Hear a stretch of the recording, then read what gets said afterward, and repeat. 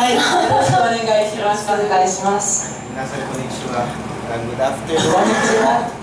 Uh, good afternoon, ladies and gentlemen. Uh, we're very proud to sponsor this special public lecture. It's also going to be a uh, joint lecture with our friends in Japan and Yokoku University.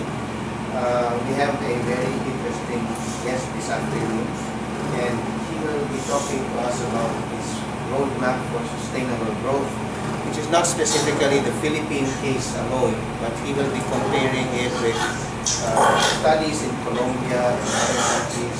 So the, the perspective that he will present to us today is something that transcends Philippine interests, that goes beyond and allows us to compare various experiences. He's in trying to, trying to attain a sustainable peace.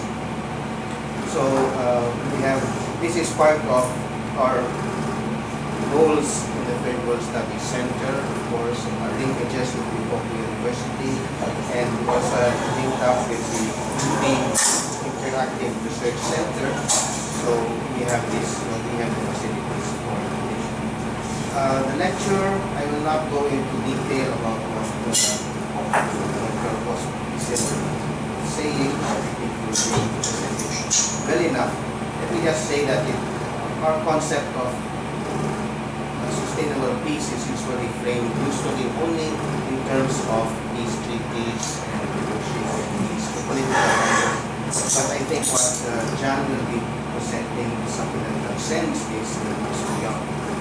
So, uh, without further ado, I think I will turn the floor over to Dr. John Pospisil. Uh, he is from Austria. Uh, he is from Austria. He is now a lecturer at the University senior fellow at the Moscow Institute for International Affairs.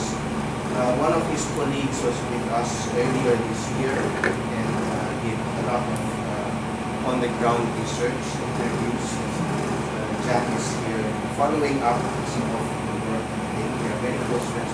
So we have a very interesting perspective by an Austrian academic on the ideas of sustainable peace going beyond simple students.